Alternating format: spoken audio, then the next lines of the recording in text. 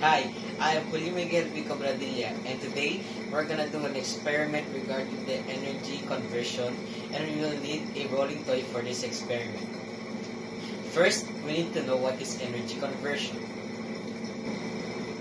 Energy conversion, also termed as energy transformation, is the process of changing one form into another energy.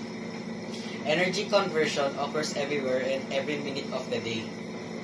There are numerous forms of energy like thermal energy, electrical energy, nuclear energy, electromagnetic energy, mechanical energy, chemical energy, sound energy, and more.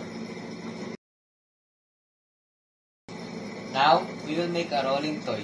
To make a rolling toy, we will need a plastic container, rubber bands, a washer, or you can use a paper clip, sticks, tape, and a sharp object to put a hole on the plastic container.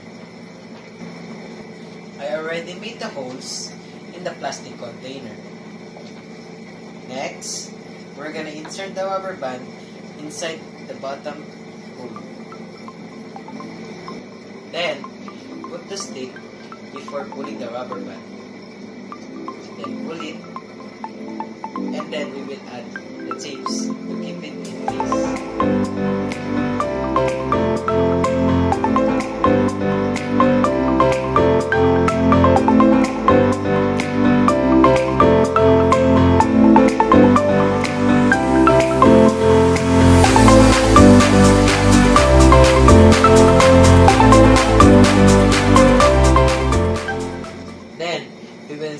Rubber band on the other side of the container.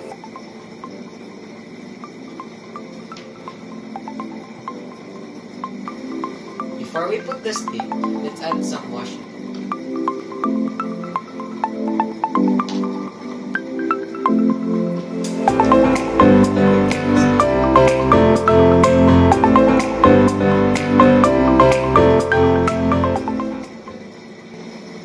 And now we have a rolling toy. Let's try to use it. First, let's wind it up.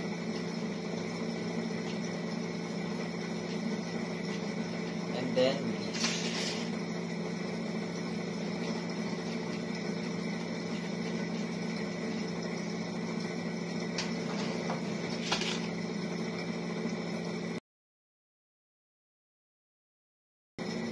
Let's answer the guide questions. Na- question number one. What happens to the toy? When you wind the stick and release it, the toy will roll on its own. Question number two. What kind of energy is stored in the rubber band? Potential energy. Because when the rubber band is stretched, it gains potential energy. What kind of energy does a rolling toy have? Kinetic energy. Because since the toy is rolling, it is moving in motion. Question number four. What transformation of energy happens in a rolling toy? Potential to kinetic energy. Because the potential energy is when we start to roll the toy or wind the stick of the toy, and the kinetic energy is the toy rolling on its own and stops in a certain time.